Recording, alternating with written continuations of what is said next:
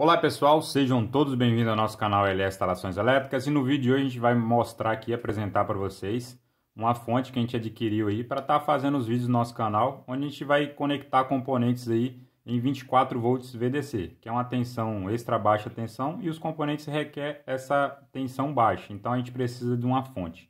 Então fica até o final desse vídeo que a gente vai passar para vocês algumas informações técnicas aqui a respeito da fonte e também a gente vai conectar ela, ela à rede elétrica e vai mostrar para vocês o funcionamento conectando o componente 24 VDC.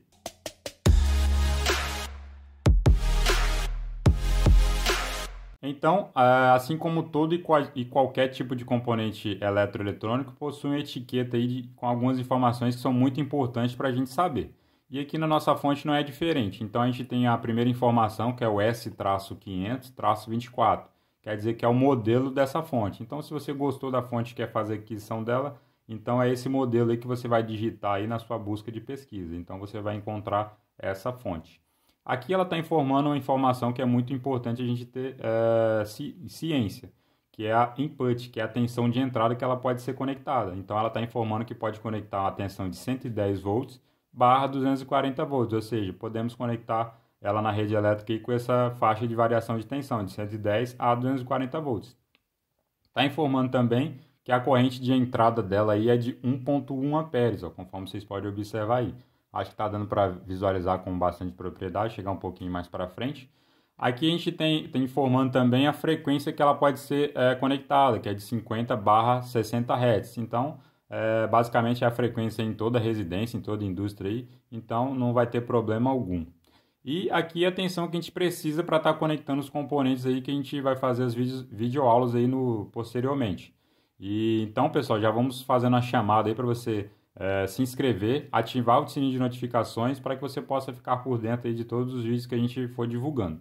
Então a gente vai ter a tensão de 24 volts em corrente contínua e 20 amperes. E qual é a potência, pessoal, já que não tem? Então é só você multiplicar 24 vezes 20, que você vai obter uma potência próximo de 500 watts, beleza? Aqui na parte frontal da nossa fonte, chaveada, a gente, ela possui aqui um cooler ou ventilador, né? Ventoinha, como muitos aí gostam de chamar. É, porque ela tem circuito eletrônico e como ela é uma, uma fonte que tem uma potência relativamente alta, é, dissipa muito calor. Então é preciso fazer a ventilação forçada aí. Então aqui a gente tem essas aberturas aqui, ó, onde gente, ela puxa o ar da, do ambiente, passa pela placa e o, e o cooler aqui, ó, o ventilador, ele joga essa é, essa massa de ar quente interna para fora da, da, da, placa, fazendo assim a refrigeração. Aqui ó, a gente tem os bornes de conexão. Aqui a gente tem o L1, conforme vocês podem observar, o neutro, o terra, a gente tem o V-, então a gente tem três bornes aqui, ó, que a gente pode conectar o 0 volts, e a gente tem o, o V+, três bornes também, onde a gente pode conectar o 24 volts VDC. Então, entre V+, e V-, a gente vai ter 24 volts em corrente contínua. Aqui a gente tem o, é, o variador de tensão, que ela, você consegue fazer um ajuste aqui se caso você conectar muitos dispositivos é, na saída dela e tiver uma variação de tensão, você consegue ajustar aí para manter a tensão de funcionamento do seu equipamento. E aqui a gente tem um LED verdinho que quando a gente energizar ela aqui através de, da fase do neutro, ou fase-fase, né, 220, que no nosso caso aqui é, vai ser em 127 volts, fase e neutro, beleza? Vai energizar o LED aqui indicando que ela foi é, conectada à rede elétrica. Agora é só conectar a rede elétrica, pessoal? Não, tem uma informação que é muito importante que você não pode esquecer, que é a chave de seleção aqui na lateral.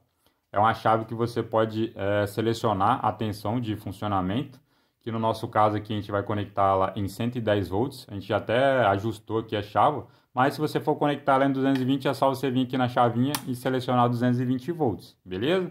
No nosso caso vai ser 110 volts, fase neutra, então vamos deixá-la em 110 volts. Então ela já está pronta para a gente conectar a rede elétrica, a gente vai montar o circuito aqui e mostrar para vocês o funcionamento, ok? Conforme vocês podem observar, o LED verde ali que indica que foi energizado acendeu, então informando visualmente que está conectado à rede elétrica. O cooler, não sei se vocês estão ouvindo aí o barulhinho, ele já liga automaticamente assim que a gente energiza a fonte. E a gente é, conectou aí o relé de interface aí, que precisa de uma tensão de 24 volts VDC. Então no borne aqui do relé A1 a gente conectou no V+, que é o 24, e no V- a gente conectou no A2. Então é, nosso relé já está energizado. A gente aproveitou aqui para explicar para vocês e mostrar o ajuste de tensão que essa fonte ela propõe. A gente conectou aqui o nosso uh, ponteira de prova vermelha no positivo, V+, e a ponteira de prova preta aqui no, no V-, que é o negativo. E a gente vai energizar o nosso multímetro aqui, ó, na tensão contínua, e vai habilitar aqui o LED para que vocês possam visualizar com mais propriedades. Então, o ajuste mínimo que essa tensão ela, ela pode ser ajustada é em 17.13 volts. Então, o nosso componente aqui, ele suporta essa tensão.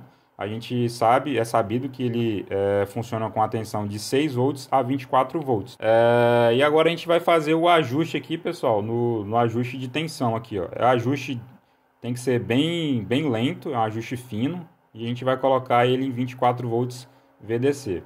Conforme vocês podem observar aí no, no, no barulho, é, de acordo com que você vai aumentando a tensão, a, o cooler ele, ele vai aumentando a sua velocidade e vamos deixar aí em 24 próximo dos 24 volts, conforme vocês podem observar aí na, no display do multímetro. A gente está rotacionando bem lentamente aqui, ó, e a tensão está subindo. E vamos deixar aí próximo do 24, 24 alguma coisa aí. Então, pessoal, ajustamos aí a tensão de funcionamento a plena carga do nosso relé de interface, tudo certinho. É, gostamos aí do nosso produto que a gente adquiriu. Se você já adquiriu um produto parecido com esse, deixe aí nos comentários. Se gostou do vídeo, compartilhe, deixe seu like e se não é inscrito ainda no nosso canal, se inscreva. É isso aí, um forte abraço e até o próximo vídeo.